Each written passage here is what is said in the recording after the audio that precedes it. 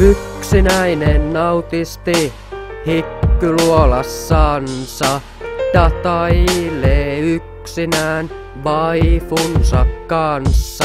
Se tunnetaan nimellä Miisaki tyyny, mutta postaustahti ei kuitenkaan hyydy. Seuraa koneellansa anime-sarjoja Rule kolmin nelosessa katselee ponilankoja. Elämässä ei päämäärää istuu vain laudalla.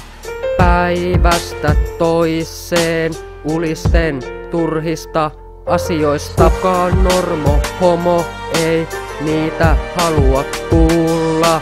Tissausta päivästä toiseen haluisi kai kuolla.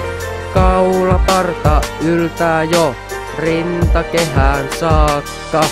Fedora päässä on tälle läskissamille taakka. Ponit paidasta löytyy kahden vuoden ruokalista.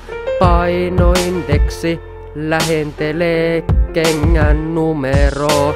Miksei tämä purkeri jättäis tuota komeroa?